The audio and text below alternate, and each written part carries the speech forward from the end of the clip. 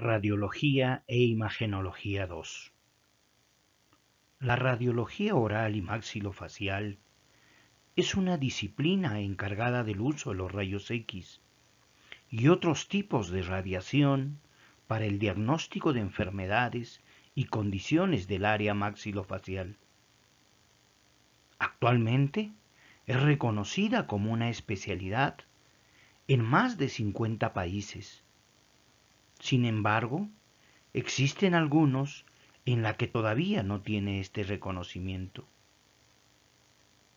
Debido a su formación profesional, la existencia de especialistas en radiología maxilofacial contribuye a mejores diagnósticos radiográficos, con el consecuente impacto en el diagnóstico clínico y tratamiento del paciente. Esta asignatura nos acerca mucho a otras disciplinas de la odontología, como por ejemplo la patología bucal. Es decir, desde el punto de vista radiológico, podremos nosotros reconocer las características radiológicas de los tumores, de los quistes, de las neoplasias benignas o malignas que se puedan presentar en el macizo cráneo facial. Por lo tanto, nos va a permitir pulir nuestro perfil profesional y acercarnos cada vez más a la excelencia. Bienvenidos, estimados estudiantes, a esta apasionante asignatura. Resultado de aprendizaje de la asignatura de Radiología e Imagenología 2. Al finalizar la asignatura, el estudiante será capaz de diagnosticar de forma presuntiva el estado de salud estomatológico de un individuo y por lo tanto realizar el llenado de la historia clínica de forma correcta identificando puntualmente las alternativas de tratamiento bajo la supervisión de un profesional, su docente y según las guías de procedimiento establecidas. En el desarrollo de las sesiones de aprendizaje de la asignatura de Radiología e Imagenología 2, nosotros vamos a poder desarrollar los siguientes temas. Primero, técnicas radiográficas intraorales y extraorales. 2. Interpretación radiológica del maxilar superior y de la zona mandibular. 3. Interpretación radiológica de las lesiones pulpares y las anomalías dentarias. La evaluación de los estados de maduración ósea. Carpal, según Fishman. Y cuatro, la interpretación radiológica de las lesiones de los maxilares, la estimación de la edad ósea mediante la radiografía cervical lateral. Sistema de evaluación de la asignatura de Radiología e Imagenología 2.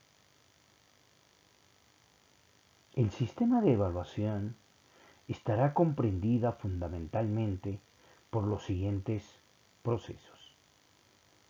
Primero, evaluación de entrada, que será desarrollada en la primera sesión de aprendizaje y constará por una evaluación individual teórica refrendada por una prueba objetiva, cuyo peso total es del 0%.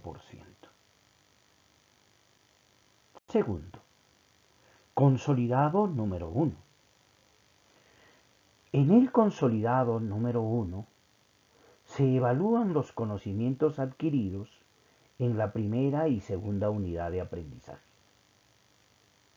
La primera unidad a ser evaluada estará comprendida por los aprendizajes desarrollados de la primera a la cuarta unidad de aprendizaje.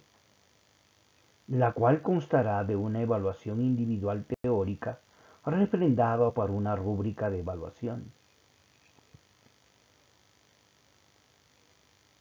La unidad número 2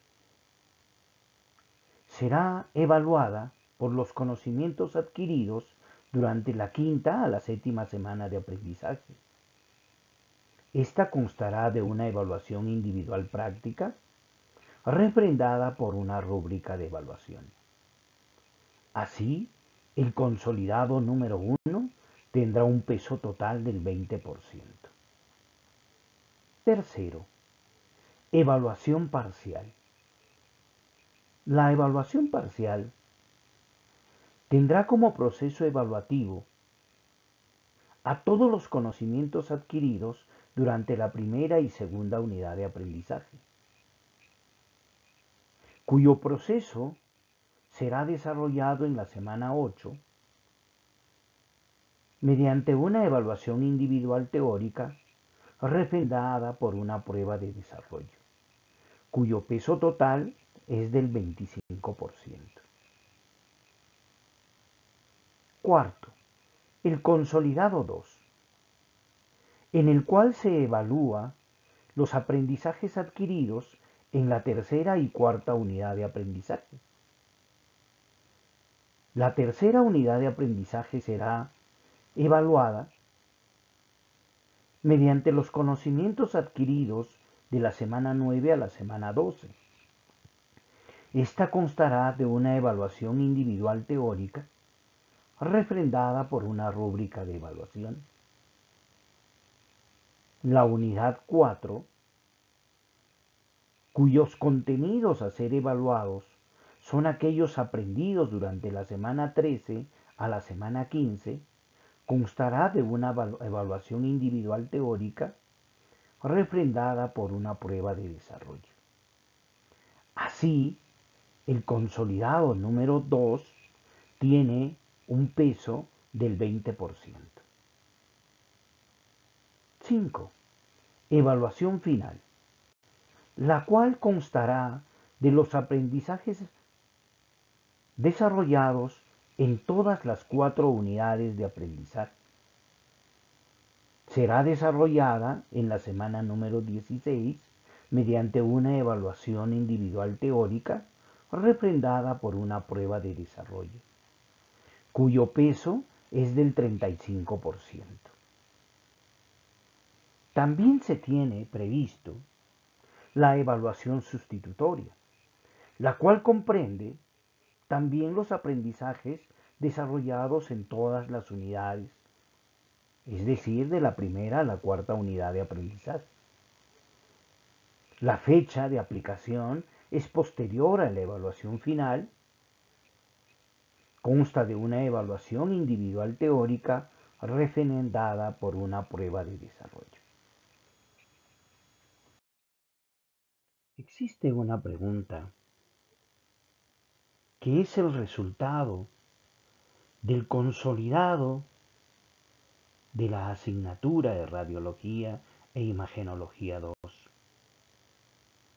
cuya respuesta va a permitir que el estudiante entienda el objetivo fundamental de la asignatura. La pregunta es, ¿Cómo aporta la radiología como ciencia a la solución de la atención odontológica de las personas?